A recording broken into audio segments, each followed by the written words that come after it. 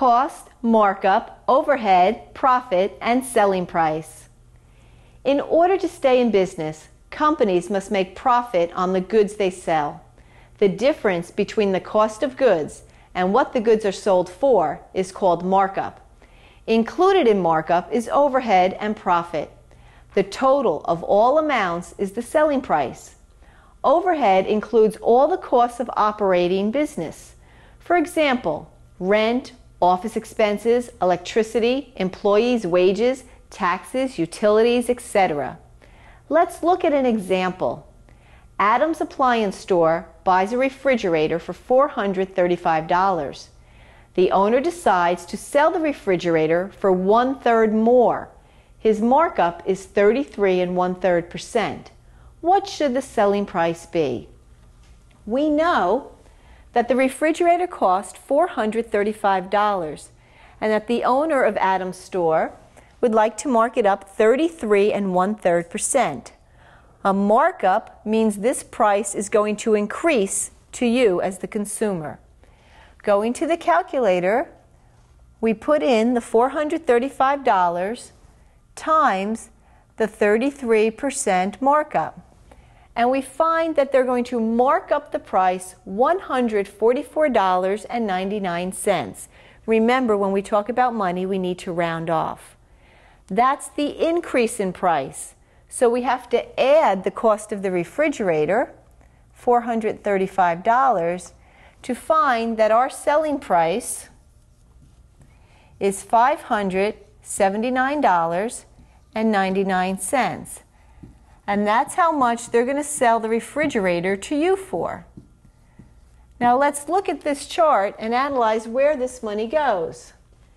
The cost of the refrigerator was $435. Let's say that Adam's store knows they have $80 in overhead because they have to pay electric bills and expenses and things like that. We know that this entire thing here shows us the selling price of $579.99. If I were to subtract these two numbers, I would get our markup. And our markup was $144.99. So if our company needs to spend $80 on overhead, subtracting these two numbers, $144.99 minus the $80 in overhead, we find that the company has an estimated profit of $64.99. So remember, the markup is the overhead and the profit put together. And the selling price is the original cost of the store plus all the markup. This is the price you pay as a consumer.